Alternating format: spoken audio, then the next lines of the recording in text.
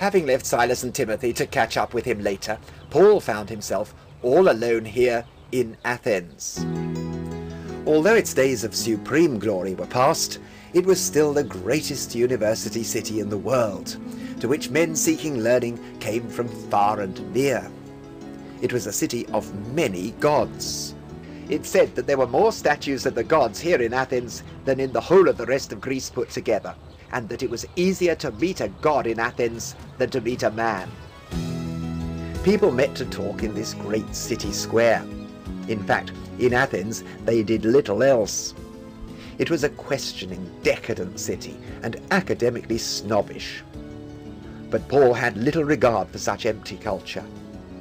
He must have observed all the commercialization of knowledge and history, all the dishonesty and empty pride of a city living on its past. He was disturbed because the people of Athens were looking for truth in the wrong direction.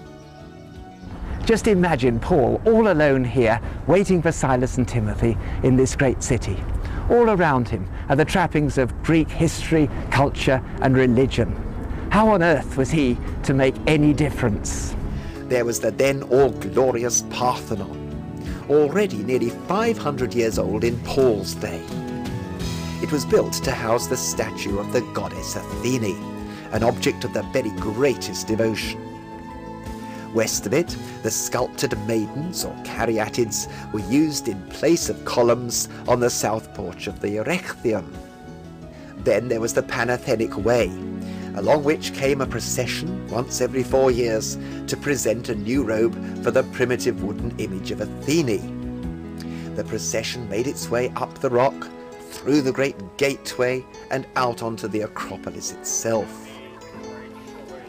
At the foot of the Acropolis is the Theatre of Dionysus, where the great dramas of classical Athens were staged.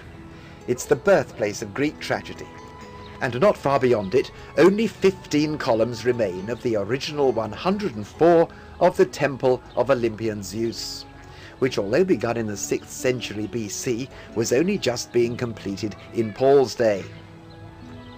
The Temple of Hephaestus, the god of fire, is the best preserved of all the temples in Athens, because it was later transformed into a Christian church.